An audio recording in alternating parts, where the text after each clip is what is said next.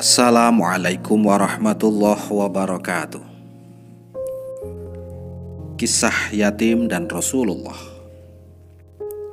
Suara takbir berkumandang dan bergema memuji kebesaran Allah. Langit dan bumi menjadi saksi atas kebesarannya. Dia telah memilih makhluknya yang terbaik sebagai rasulnya.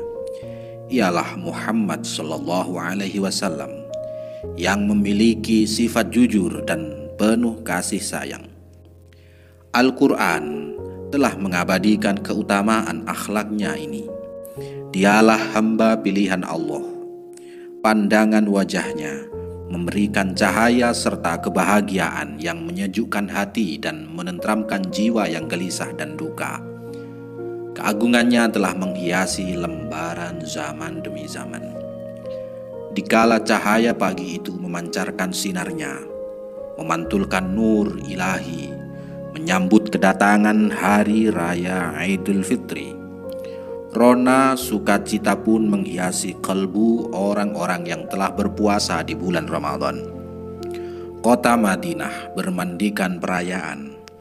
Berduyun-duyun, lelaki, wanita, dan anak-anak membanjiri lapangan untuk melakukan sholat Idul Fitri. Mereka datang dengan pakaian serba bagus dan memakai wewangian yang harum semerbak. Terbayang keriangan di wajah-wajah mereka. Takbir dan tahmid menggema bersahut-sahutan, mengagungkan kebesaran ilahi. Alunan suara takbir menggelora syahdu. Mereka yang hadir tunduk khusyuk pasrah mengabdi kepada Rabbul Izzati.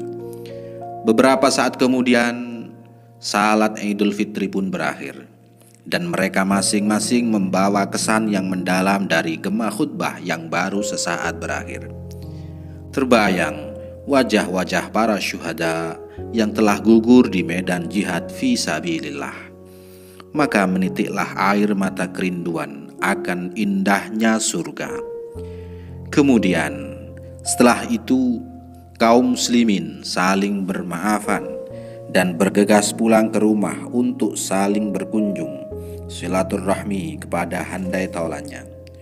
Sementara itu, anak-anak masih bermain berlari-larian di sekeliling lapangan tempat sholat.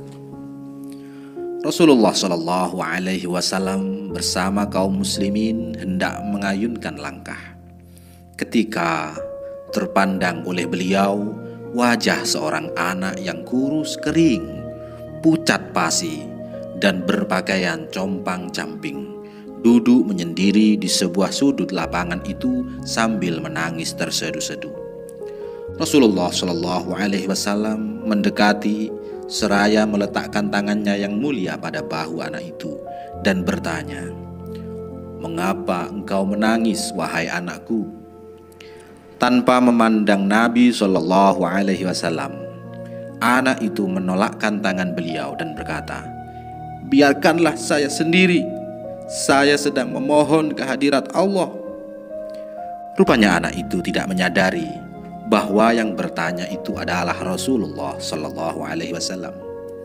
Mendengar jawaban anak ini, Nabi Shallallahu Alaihi Wasallam kembali meletakkan tangannya di atas kepala anak itu Kemudian bertanya dengan suara mesra dan lemah lembut, mengajuk hati anak itu. Tetapi, wahai anakku, ceritakanlah kepadaku apa yang telah menimpamu.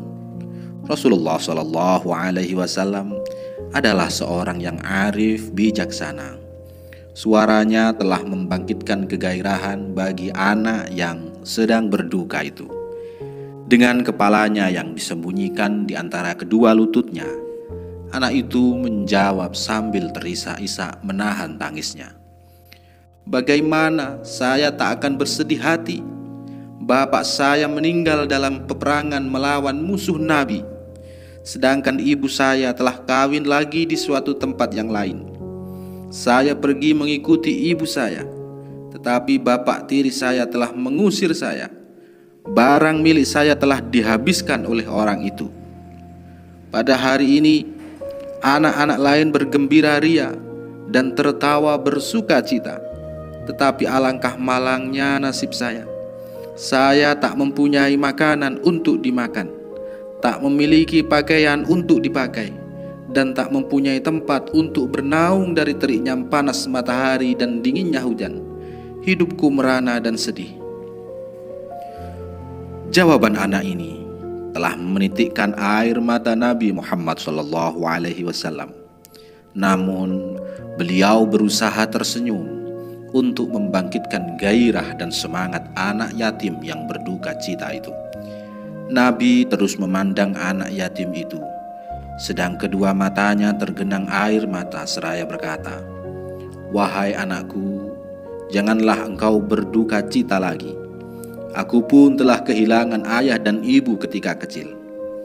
Tangan Nabi Shallallahu Alaihi Wasallam masih saja mengusap kepala anak itu dengan penuh kasih sayang merasakan sejuknya belayan tangan orang yang memperhatikannya dan mendengar perkataan yang lemah lembut.